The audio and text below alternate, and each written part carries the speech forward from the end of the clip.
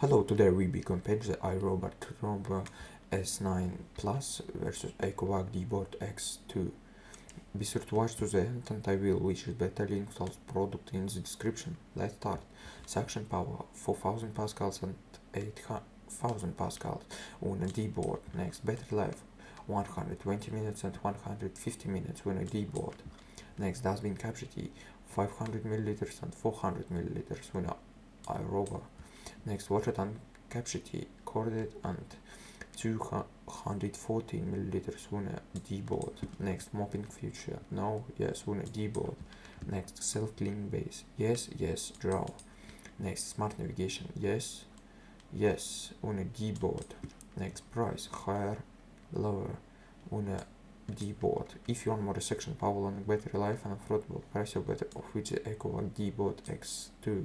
The link to buy in the description. Bye.